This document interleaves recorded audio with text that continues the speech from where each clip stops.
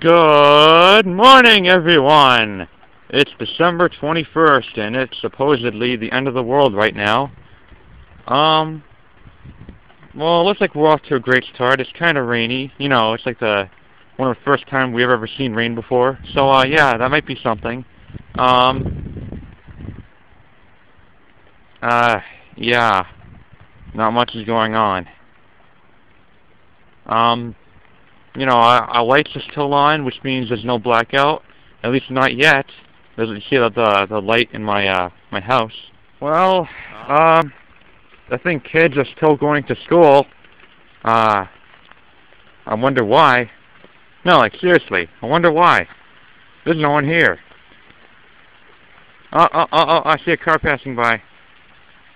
I think, yeah. Um, okay, this is really pissing me the fuck off, alright? There's nothing here, it's just rainy. It looks like it'd be like a little bit of storm, okay? There's nothing here.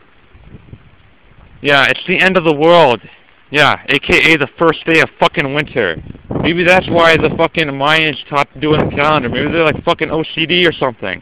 You know? Ah! I'm getting fucking drenched, and I'm heading back inside my goddamn house. Alright? Jesus fucking Christ. Years and years of controversial commotion all for nothing. Little fucking storm. Big whoop. At the most, we might have like a fucking little blackout, if that whole theory's true. Fucking pissed off right now.